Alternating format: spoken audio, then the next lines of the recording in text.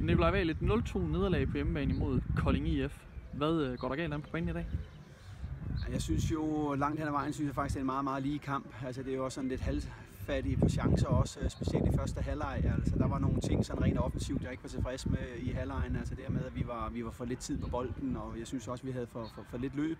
Jeg synes, vores øh, bold havnede for tit nede i bagkæden, og så blev udgangspunktet, det var dem, der skulle spille den op, og det må vi bare også lige erkende os og sige, jamen det er vores, vores bedste spiller er, det er omkring det centrale område, omkring midtbanen.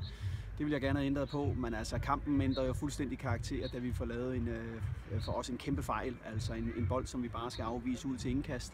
Øh, det får vi ikke gjort, og det giver det en friløber, og det, det, det, det, det minder mig bare lidt tilbage til Hvidovre kamp, hvor vi får lavet nok den samme fejl.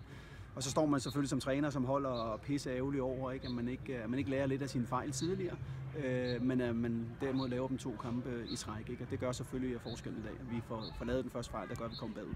Ja, hvordan sørger vi for at få minimeret de fejl fremadrettet? Det, er jo selvfølgelig svært, fordi det, det, der er selvfølgelig mange ting, der hænger sammen med det. Det hænger både sammen med rutinen, det hænger jo sammen med, med, med, med, med, med tilgangen til det. Det hænger selvfølgelig også i høj grad sammen, om det er en defensiv eller en offensiv spiller, der vælger at stå i den situation. Og så er det selvfølgelig også noget at gøre med i, i en række lige nu, ikke, hvor at, øh, den individuelle kvalitet af det, vi møder, den er bare langt, langt større end det, vi har forstået overfor. Øh, de hold, vi møder, øh, er, er bare meget bedre. Du bliver hurtigere straffet, du bliver hårdere straffet, og, øh, og det ligner for os i hvert fald en, en, en ordentlig lærerprøve øh, for os, og en ordentlig lektie for os, det er, at vi, øh, vi, vi, vi får ikke hurtigt rettet det nok op på de fejl i forhold til, uh, til den næste kamp, vi skal spille.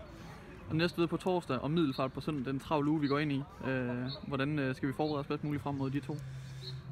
Lige nu er, kommer kampen jo fandme med så kort periode, ikke? så rent forberedelsesmæssigt, så er der jo ikke så meget, vi kan gøre. Altså, der, vi, vi, vi har et par træninger, inden vi skal spille kamp igen, ikke? så det er jo meget lidt. Allerede træner allerede i morgen, men det bliver jo sådan mere på den restitutionsmæssige ting. Ikke? Og onsdag der bliver sådan i forhold til at forberede sig til en kamp mod Næstved, som vi i øvrigt øh, havde det helt sindssygt svært mod, da vi mødte dem herinde.